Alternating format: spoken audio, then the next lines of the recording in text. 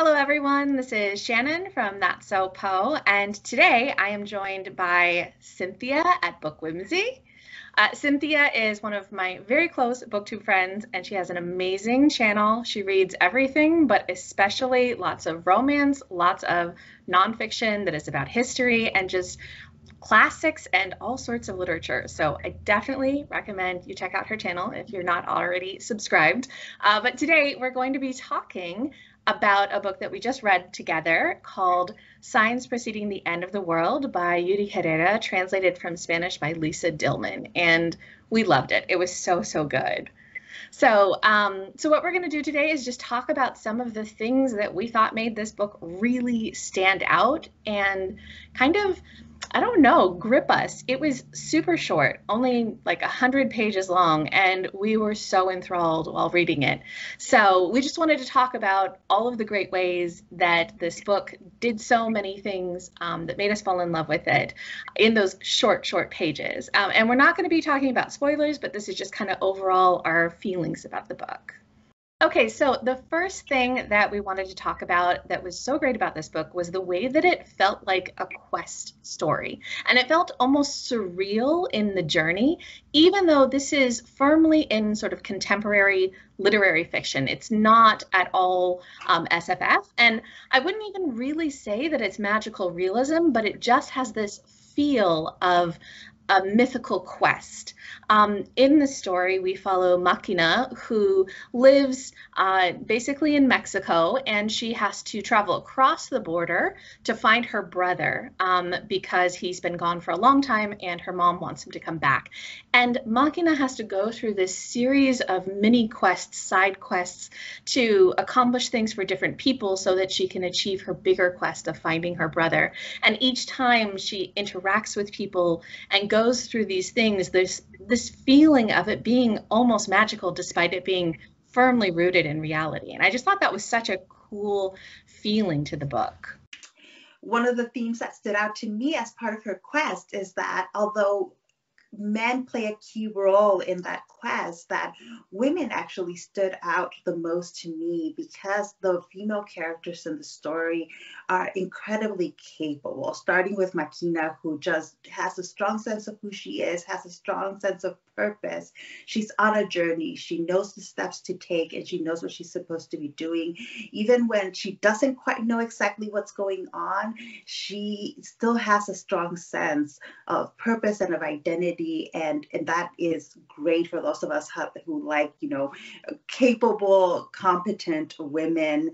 Um, they women also appear at key moments in the story and really are the ones who propel the story forward in a lot of ways. Whenever makina feels a little bit lost or doesn't know what to do next women pop up in the story and really move the story forward starting with her mom who initiates this quest and then a woman she meets uh, in the U and what is the U.S. It's never explicitly said, but it's it's supposed to be the U.S.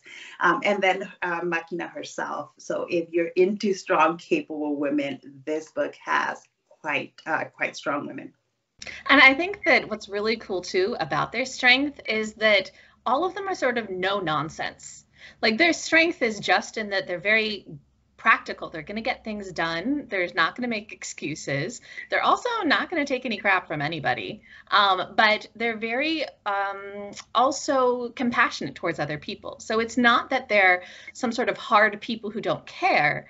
They're people who care. They look out for others, um, but they're also going to get done what needs to get done. And I just really like that kind of strength the next thing that really stood out to me, I think, is the language that is used in this book, both the way that the writing itself is as well as the way that the book talks about language. So it's it's very much meta as well as um, the language used. And the translator's note at the end is really cool too talking about how she thought about how to translate this because it is a very unique narrative style.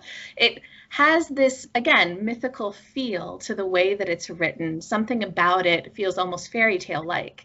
Um, and it's, it's very gripping and very immersive. Uh, I have a quote just to give an example.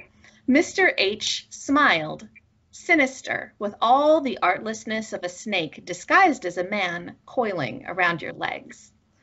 And it's just like this great use of language. There's so many interesting word choices. Um, you feel both close to Makina as well as having that almost detached third person narrator that is common in a fairy tale or a myth.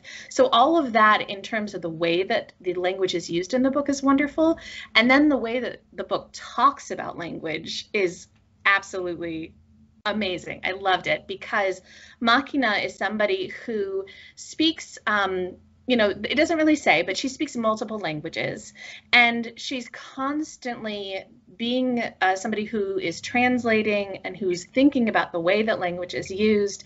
And as she crosses the border, she has a lot of observations on the way that people use different language um, and just some of the observations on how um, kind of people switch between the languages or how they mix the languages or how they use a language that isn't their original language. It's all such a fascinating discussion about the power of language to express identity and thought and emotion. And I really, really liked it.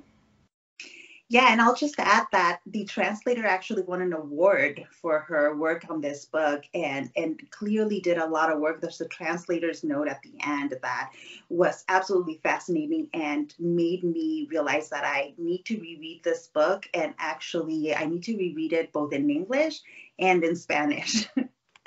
so another theme that keeps popping up in the story after Makina crosses the border is that of Anglos. This is one of the instances in which it becomes clear what border and what countries are, are being discussed in the story because when once she crosses the border, there's a different population of people, Anglos, and that is stated in, in that phrasing. And as she encounters more and more Anglos, it is clear that Anglos don't quite understand their place in the world and how they interact with migrants And Makina, because she has such a strong sense of herself, is able to see these people clearly. And because she's also not necessarily planning on staying in this place, she's here and it is has crossed the border for a quick journey, she hopes at the beginning. And so she mm-hmm. she, she just she sees these people and sees the the oddness of their culture and the oddness of their behavior. Uh, just a quick example: when she first crosses the border, she goes uh, to what is a grocery store and sees people at the self checkout, and she notices how um, everybody's there, kind of behaving almost in a robotic manner, but also that people self uh, at the self checkout that they jump every time the self checkout beeps, and it's something that I know I've done at the self checkout, uh, like just the odd experience of, of doing a self checkout. But when when you're part of this, when when it feels normal to you, you don't notice the little odd behaviors that you do at these places.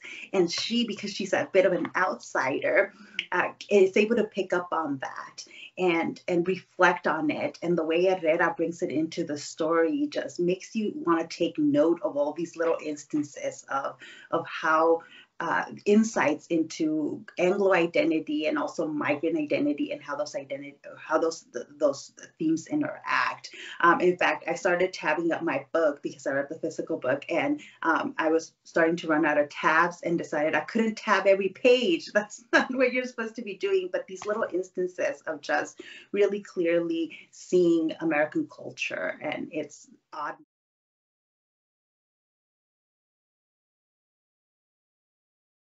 And kind of related to that idea of Makina serving as someone who can observe what's going on with the Anglos, she serves as sort of a bridge between worlds. She serves as a bridge between this US community that she's gone to to find her brother, as well as her home community, which we assume is in Mexico, even though it's not explicitly stated.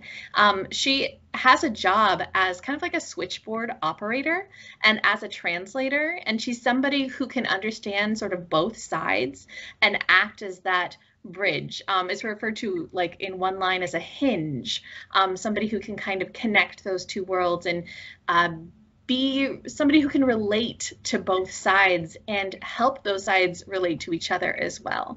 So I thought that that was just such an interesting discussion, especially because so much of this story is focusing on migration and focusing on people going back and forth over the border and her being this almost again like a mythical person who can connect those two and move past the the borders and the barriers.